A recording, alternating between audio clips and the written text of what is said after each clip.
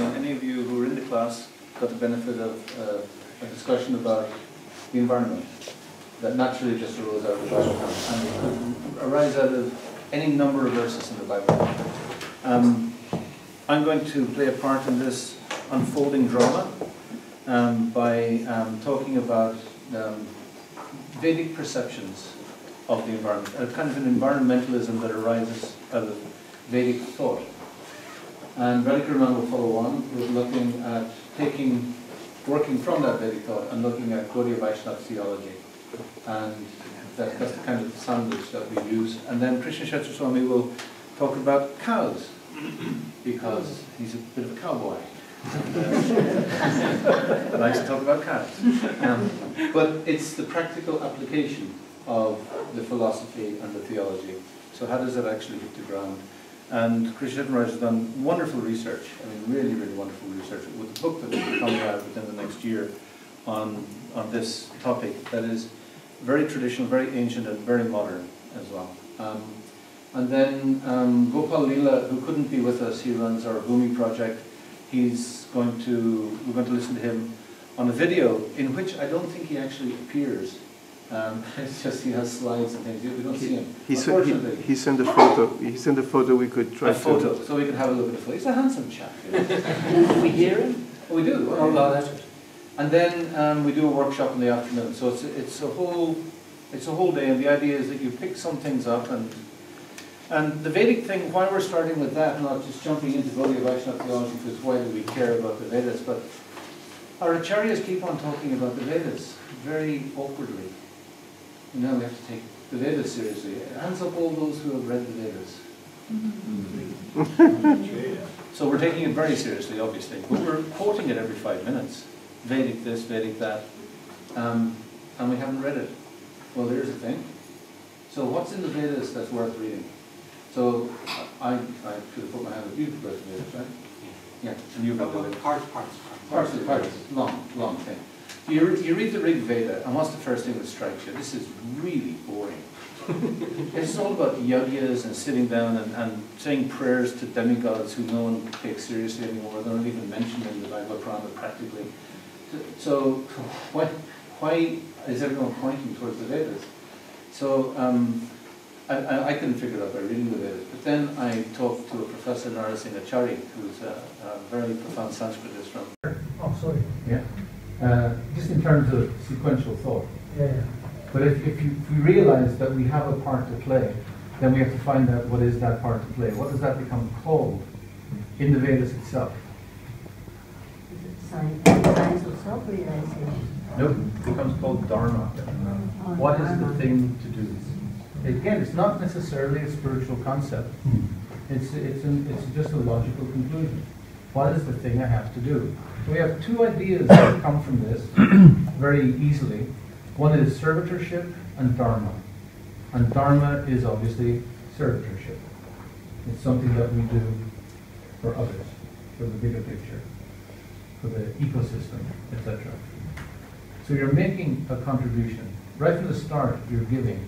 Again, we come to another idea, Vedic idea, yajna, sacrifice, giving. And what's the rule of yajna based on this thinking? You give first and you take later. Fire yajna is you give all this stuff. Um, in Vedic times it was gold and all kinds of wonderful things and ghee. And then you say, Dear Lord, please give me back more stuff than I gave you. you approach the deity and you say, Oh dear Lord, you look so gorgeous, I love your peacock fans and how about BMW? so first you give, first you offer something, and then you take. That's the, and that's all Indian culture is like that. Many cultures are like that. It's just a natural understanding. If you're the smaller thing, then you contribute first. And it's that's natural understanding if that's your philosophical starting. So so these, these ideas have ramifications in terms of developing environmental theory. Let's look at servitorship. Well, well, oh, let's look at Rita, the fact that there is cosmic order. It is organized. It's just an assumption. You don't have to prove it, it just makes sense. It's like that dogs have emotions. They've done a scientific study now and they figured out that dogs have emotions. Who didn't know that? what dog owner didn't know that? You know, it's not, it's no, no brainer. So, so that's, that's an assumption. But this is such a fundamental, basic, no-brainer assumption that after the Rig Veda, you never hear, hear this word mentioned again. But if you don't understand this idea, it's difficult to understand seva and dharma and yajna and the other things that come out of this, which we'll discuss a little bit later. So this becomes the basis of a lot of philosophical thought that all the all the Upanishads, the Brahmanas, the the um, uh, Itihasas, the um, uh, Bhagavad Purana, and all the Bhagavatams, they're they're all discussing the issues that arise out of Veda, plus some other issues that are in the, some other big philosophical ideas that are in the Rig Veda particularly. Um, so um, servitorship, what's the ecological takeaway for that? Um, the Abrahamic idea is that in the book of Genesis, God gave humanity the planet. And God gave the animals the ownership, actually ownership of the animals, the plants and everything like that. And if we are the master, if that's our starting point philosophically, that's a very different trajectory than your starting point being I am a servant. So ecologically, the pious realization of the Abrahamic ecologist, and most scientists are Abrahamic in thinking, because they haven't critically analyzed the assumptions behind the culture they're brought up in. So they're thinking, we are scientists, we will be the master, we will conquer suffering, we will conquer death. There's an idea that that's possible. That idea just doesn't arise in Indian thought. You're not going to conquer death. You're not going to conquer time. You know, it's, it's just nonsense. But if you think you're the master, you can do whatever you like. If you think you're the servant, you're in a completely different mindset.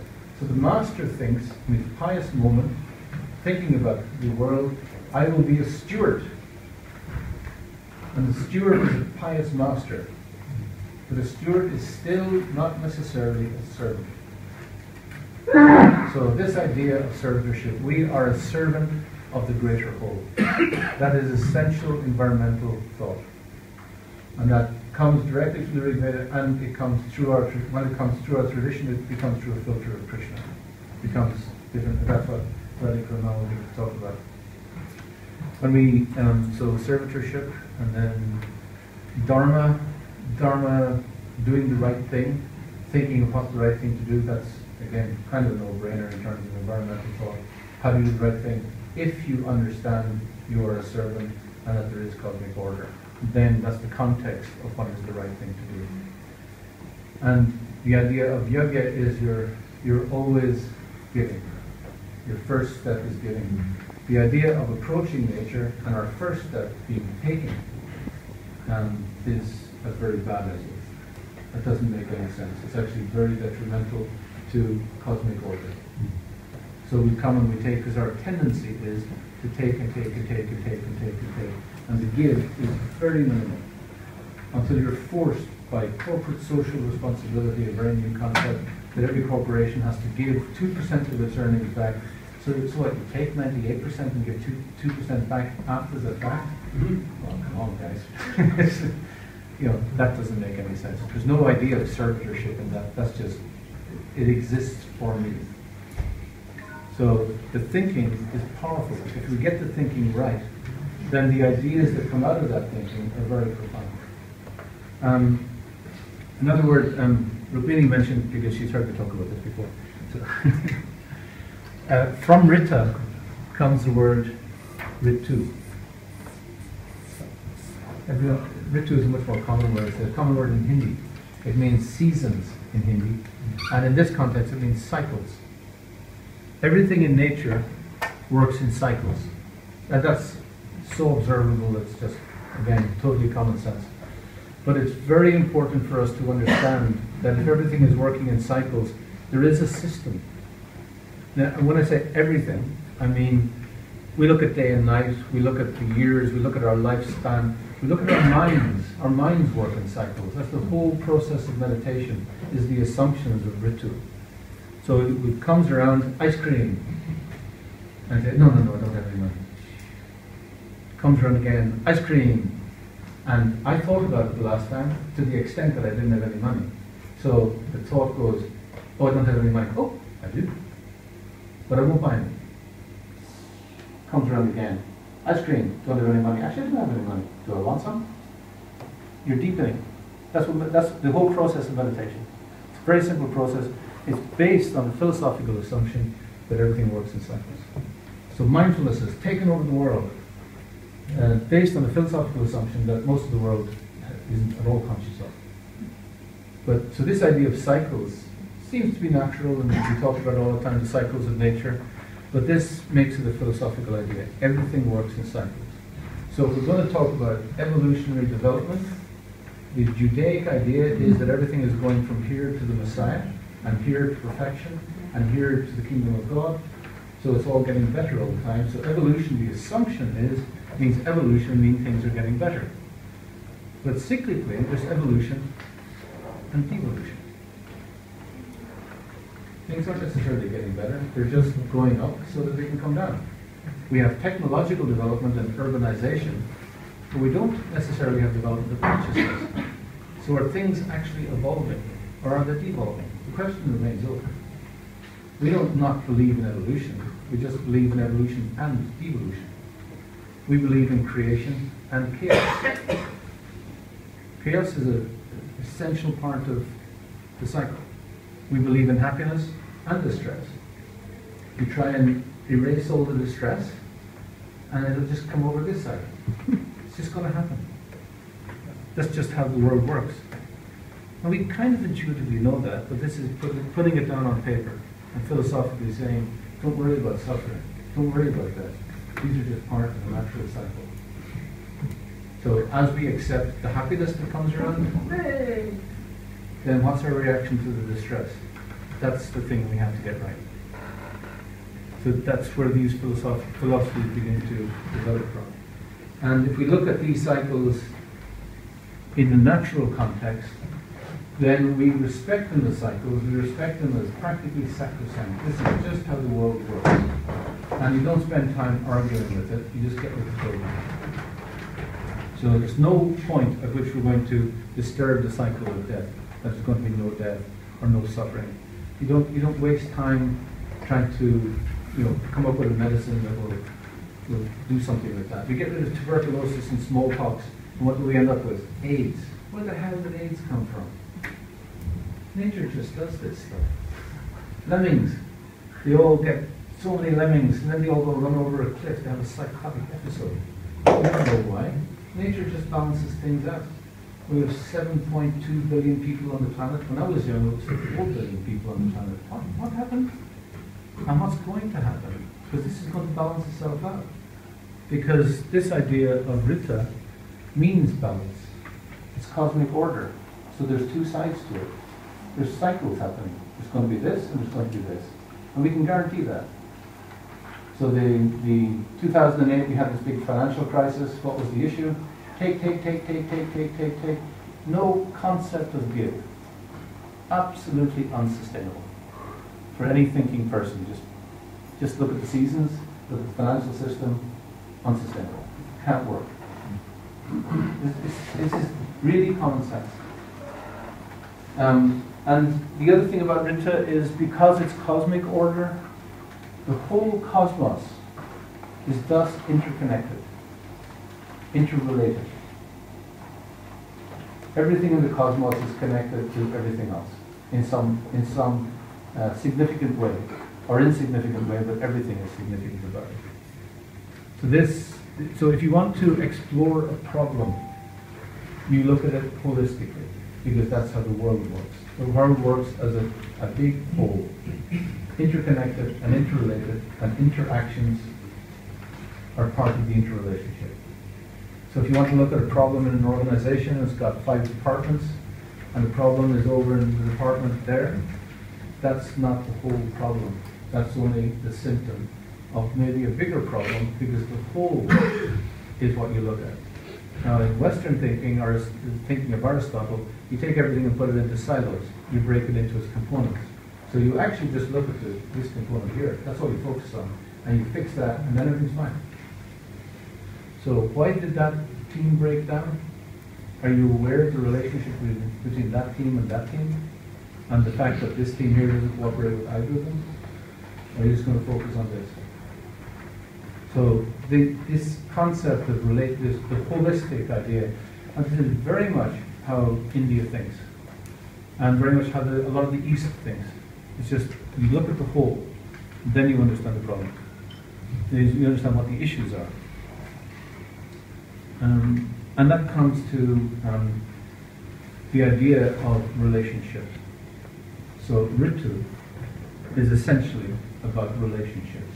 The level of interconnection is quite profound. So relationships become very important.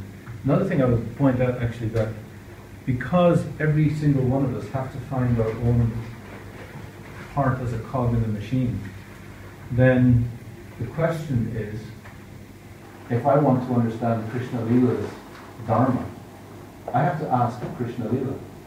I can't tell her what her Dharma is. I have to ask her what her Dharma is, because I don't, I don't live in her part of the machine. A, there's an essential pluralism. And people are, people since the time of Pythagoras have been speculating about Indian pluralism. The two things that all the travelers, all the thinkers who bumped into India, the Chinese, the, the Italian Vasco da Gama, and all the people who bumped into it, is the pluralist idea and ahimsa. That's two things that they just find fascinating, that they just didn't have in their own culture, we found very interesting. The pluralism comes from somewhere, and it comes from these ideas in the Rig Veda, that every single person has their part to play. And you can't tell them what it is, you have to find it, because they're the only ones who are seeing what their circumstance is. I can't see I'm around circumstance. I can't understand how, you know, he was born in Jaipur in India. That's, he bars me from understanding most about him. You know, brown skin and dark hair, and he can grow a beard easily. This is like after six years this growth. so we all have different circumstances, and we all have to define our own circumstance. So, that, so that's, that's a tremendous pluralism. It essentially says that there are many religions and philosophies and cultures in the world as there are people. It goes against the idea of institutional religion, in actual fact. You can get people together as a club and fly a flag, but they're not going to think the same. Everyone's going to be an individual. That's quite a profound pluralism. Um, but relationship is the important um, understanding because what is our relationship with other people? What is our relationship with the world around us? What is our relationship with trees, with water, with all the facets that, in the holistic perspective, give us life? And if we just encroach upon animals to that much, and that has a knock-on effect that we can't grow wheat in this country, and that has a knock-on effect that you don't get bread in your shop, we're totally responsible for the first action. We have to be able to see the cycle before we act, to see the whole picture. And again, in terms of environmental theory, that's quite profound. That's not how the world acts. It's not how the world thinks. So there, there's some ideas based on Rita, and on to the next. Big Vedic idea. I'll tell you what the other. Um, I'm not over for my notes, am I? I think I'm going through everything. Um, oh, yeah. I'll just read you this thing. Um, the holistic idea, a very important word that comes out of it is integrity, integral, how everything is interrelated, as we said. As we have seen, Rita promotes a holistic worldview. To appreciate the integrity of the ecological system, we can look at the material elements as described in our texts. They are primarily earth, water, fire, air, and space. No single element is autonomous. And it is in their interaction that we see their power and significance. Many of the demigod sages and kings mentioned in the Bhagavad Purana are associated with certain elements. But they're all, um, they have a, the, the, the, demigods, the sages, the kings, their um, stories are striving for personal, social, or natural integrity. So they're all looking for integrity, how to bring things together. That's always been the quest. So the idea of integrity of not two but one. So there's the oneness about it. Oh, oh go, I said the word oneness. there's an understand this holistic idea. You can see where philosophical oneness comes from, but That's the idea, that everything is connected, it is one in that sense. And so to, to speak in terms of integrity, on a personal level, on a social level, and on a, on the level of nature. So everything has to connect. And if you're making plans and you're not connecting with things that are associated or affected, or you haven't investigated what is, that's, it's going to be a bad plan.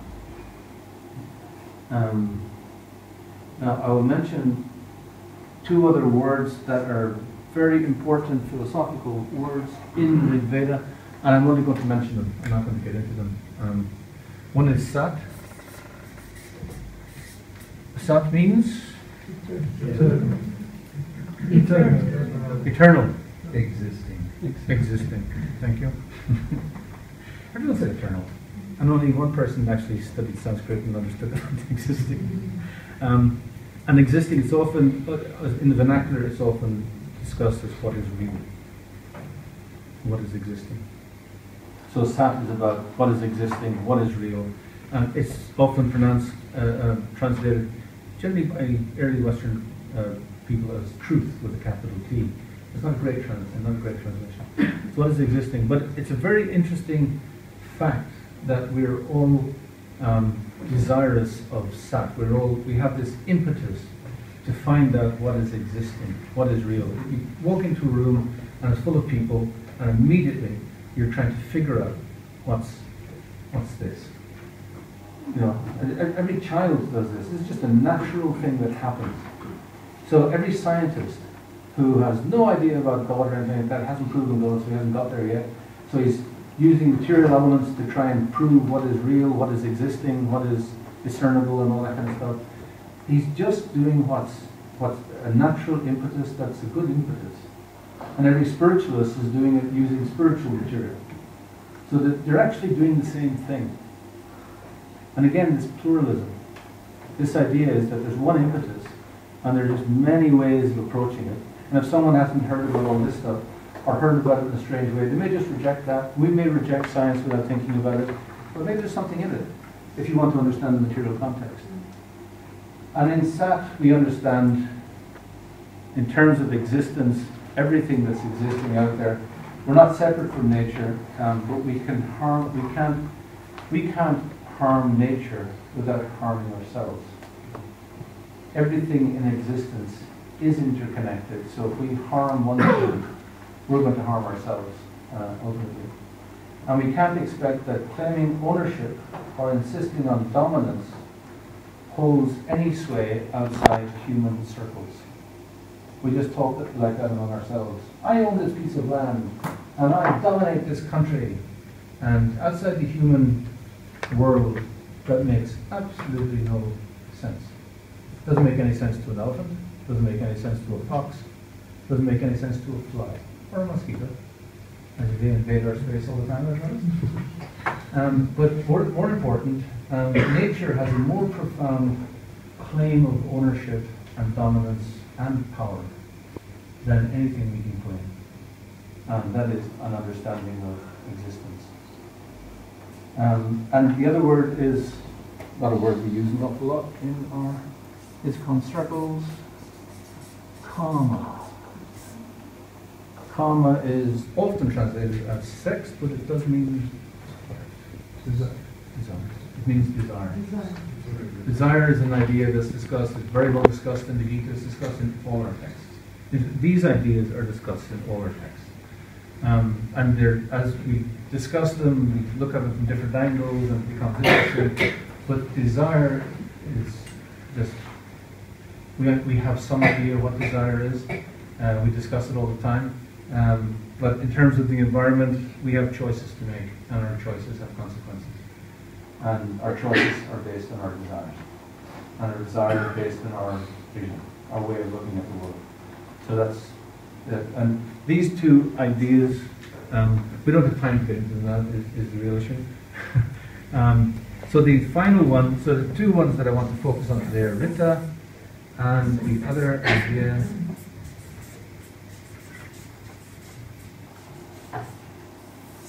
pen is running out. Atman, Atman, is it? A-T-M-A-N? Thank you very much. That's worth looking dyslexic. Sorry, I'm dyslexic. Can't spell. Um, Atman. Atman is in the Rig Veda. In the Rig Veda, it's talking about the self. And how does it describe it in the Rig Veda? You remember? The self? No? It discusses the self in. What's that? I think in Rig Veda it's only used as a reflexive pronoun, but Well, well, it, yeah, it's just um, from Charney giving It's discussed as it refers to, it's used in different reference points to the body, the mind, the intellect, and the more spiritual self. And it doesn't, it doesn't expand on anything. So it's, it's just a very general, the self, and it discusses it in these, and the assumption is that the idea of the self is holistic. If you want to talk about the self, you're talking about the whole manifest self. So when we talk about Atma, we're only talking about the spiritual, but in Rig Vedic, and so in the Upanishads and later discussion of Atma is about the spiritual. Focus on that. Why? Because this is the substantial part. Is the part worth talking about. But they're all, they're not negating the other parts. They're just saying that this is the, and that's the issue of the Gita. What's the substantial part? And it's the spiritual self, because it's the part that has more endurance. But the self includes the body and the mind and the intellect. Um, but these are so temporary. Uh, I mean, the mind is changing every five seconds. The body changes every 80 years. Well, before that, we all have different you. We had lack of grey hair bodies, lack of wrinkled bodies, and all that. So, so it, it comes in the Upanishads and the Puranas and these as a discussion about the spiritual self, and that's kind of where we want to focus on the on the Atma. Um, here, I'm trying to remember my point about the Atma. Um, Rita is kind of Rita is Rita is the big picture. Uh, the discussion of Atma is the bigger picture. The Rita is absolutely the big picture because the absolute overview of the material context.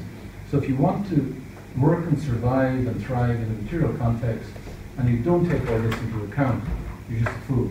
This doesn't make sense. But if you want to understand who you are, and this is what Karnamrita have begun to discuss and we're talking about.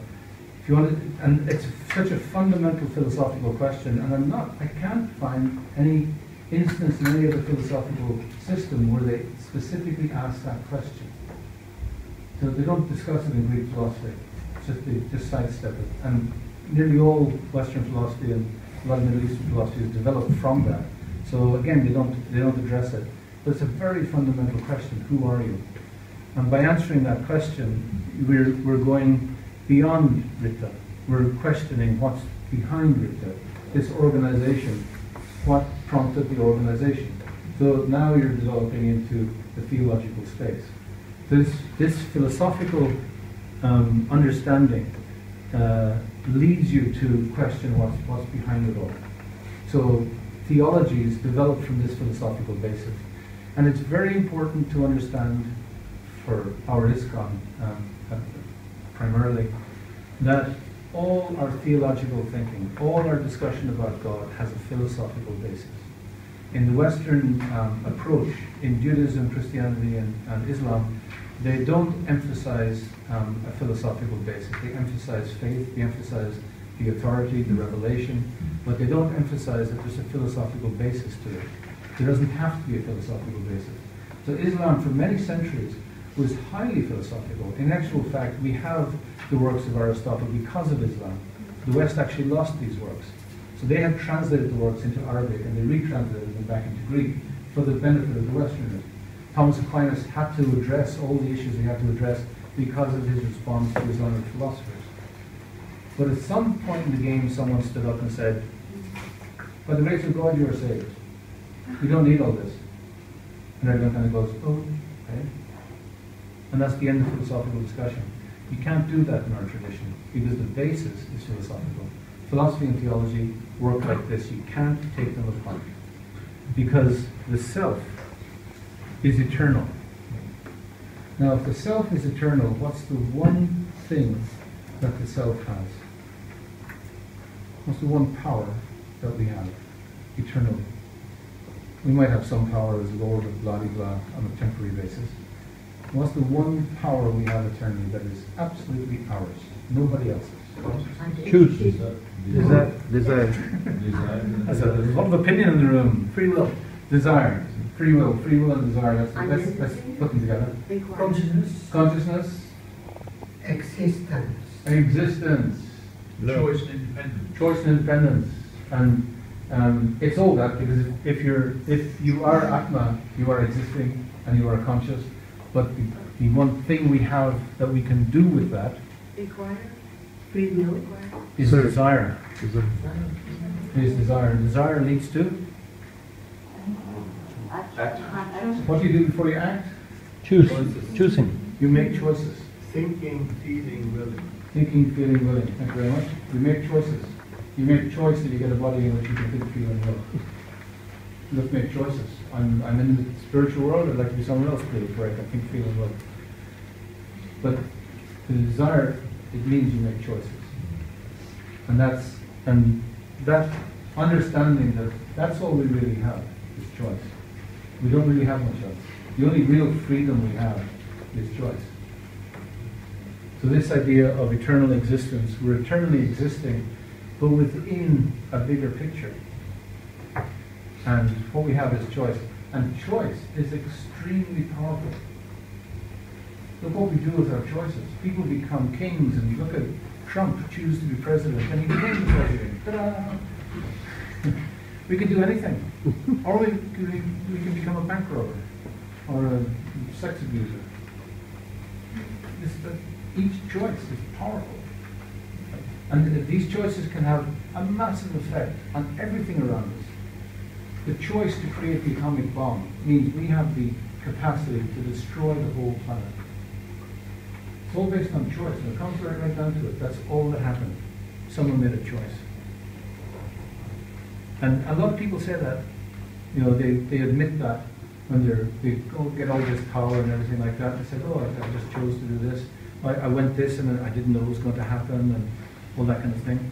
It may interest you to know that our good friend Adolf Hitler, um, in 1919, was up giving a speech and he got down from the podium and um, someone said, you should be the leader. And he said, no, no, no, no. He had no idea to be the leader. Some idiot chose to ask him. and he chose to accept. And look what happened. Choices. How do we how do we get there? and we make choices for, as we know, for all kinds of reasons. That's we can get into the whole discussion of desire. But the idea of Atma, of the eternal self, the important thing for us to remember here is that the eternal self it means essentially for us the energy of life, the source of life. This energy is life as distinct from non-life. In ecological terms, it means that any living thing is to be respected. And every living thing is a citizen, has rights, has needs. We should be concerned about. So the idea of namaste that they say in all oh, the yoga studios now boringly, but you're offering respect to the life within, to the atma, to the person. But so you're in India, I- it happened to me, I got bumped by someone, I turned around and go, oh, namaste, and it was a cow. But I didn't take it back. What was that? Cow, it was a cow, it was a cow. Yeah.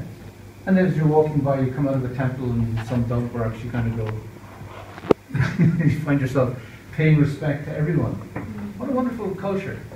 You're respecting all life. Now, our modern culture, the basis of our legal system, we discussed that before, basis of our legal system is the dignity of the human being. This is enlightenment thinking, uh, trying to get away from religious concepts of the sacredness of the self. So it's the dignity of the human being. That's the that's the common denominator of the legal system, which means it's the common denominator of our social policies, our environmental policies, and our political theories. But this thinking means it is saying that it is the, the dignity of all life. That should be the basis of our society. And that means we're not speciesist, and that means we're not preferring humans. Humans are not special in, in these Rita terms, cyclical terms, or in Atma terms. And again, this brings it down to a, a certain pluralism, a very deep, deep, deep picture idea. But it has practical application. Um, and then I will wind up this session with um, the reason why I picked these two was the relationship then between these two different realities, the material reality and the spiritual reality. What's the relationship between these two? Two completely interconnected realities. And philosophically, people looking from this perspective look at this and say, it's only the material world, why should we care? Doesn't matter. It's the material world, because we're spiritual, and we're eternal, and it's all going to change anyway, and it's all cycles, it's going to go up and down. Why should I put energy into it? But, who is the person who is the very earth itself? Who's the very Krishna. The very what, sorry? The very earth itself. The Atharva Veda says, Earth is mother. I am a child of earth. Who is this mother? Mother has a name. Durga, Bhumi, Durga, not Durga, Bhumi. Durga is a completely different is person. the overall mother of the No, no. Bhumi is very specific. She's not the overall mother. I think we can't, we've got to get this right. Bhumi is the wife of Vishnu. You go, if you see Vishnu, there's two women standing beside him, Lakshmi and Bhu. Bhudevi is Bhumi. This is quite a profound relationship. Bhumi comes and knocks on Brahma's door. There's a lot happening down here. I need some help. She has an accent. and uh, and Brahma has to run off to Vishnu, and Vishnu has to come down, and he has to be Krishna, and all all the all the his family has to come down, and demigods and devotees and associates, and they all do their thing. And then when they're finished, Brahma comes and says, "That was great. That was great. Fantastic. Well done. You have to leave now, though, because you can't stay. Too powerful. Because Mother Earth, if you stay, you'll be powerful on the earth. Mother Earth will be knocking on my door again. Please, can you go?" The- what an arrangement to satisfy who? Who? These things are exceedingly interconnected Bhumi rests here. Bhumi is the wife of Vishnu. Bhumi is a person. So this relationship thing has just taken on a completely different aura. So we can't reject the material. In all its forms, there's going to be people attached all over the place. And particularly Mother Earth. Mother Earth is taken very seriously by everyone, all the demigods. She knocks on Brahma's door, he's right there. Anyone else knocks on his door, well, to get to his door is a trip. But you know, Bhumi gets there right, right from the get-go. If Bhumi's disturbed, the whole universe starts to walk around.